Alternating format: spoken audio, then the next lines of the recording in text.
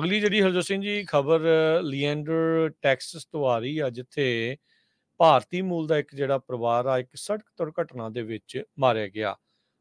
ਅ, couple ਤੇ ਉਹਨਾਂ ਦੀ ਜਿਹੜੀ ਕੁੜੀ ਆ ਉਸ ਦੀ ਮੌਤ ਹੋ ਗਈ ਤੇ ਜਿਹੜਾ ਮੁੰਡਾ ਆ, ਉਹ ਜਿਹੜਾ ਇਸ ਦੇ ਵਿੱਚ ਕਹਿੰਦੇ ਬਚਿਆ ਹੈਗਾ ਆ। ਤਿੰਨ ਜਿਹੜੇ ਪਰਿਵਾਰ ਦੇ ਜੀ ਆ ਉਹ ਇਸ ਕਾਰ ਹਾਦਸੇ ਦੇ ਵਿੱਚ, ਟੈਕਸਸ ਦੇ ਵਿੱਚ ਜਿਹੜਾ ਵਾਪਰਿਆ, ਲੀਐਂਡਰ ਦੇ ਵਿੱਚ, ਉੱਥੇ ਇਹ ਘਟਨਾ ਹੋਇਆ।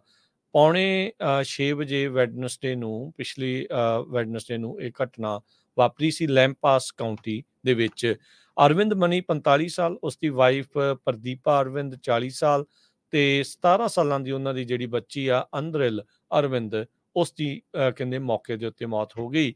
14 ਸਾਲਾਂ ਦਾ ਜਿਹੜਾ ਮੁੰਡਾ ਆ, ਉਹ ਸਿਰਫ ਬਚਿਆ ਹੈਗਾ ਆ। ਸੋ ਕਹਿੰਦੇ ਵੀ ਉਹਨਾਂ ਦੀ ਕੁੜੀ ਜਿਹੜੀ ਨਾਰਥ ਟੈਕਸਸ ਕਾਲਜ ਦੇ ਵਿੱਚ ਪੜ੍ਹਦੀ ਸੀ। ਇਹ ਇਹ ਆਪ ਸਗੋਂ ਉਸ ਨੂੰ ਉੱਥੇ ਕਹਿੰਦੇ ਕਾਲਜ ਨੂੰ ਛੱਡਣ ਜਾ ਰਹੇ ਸੀਗੇ।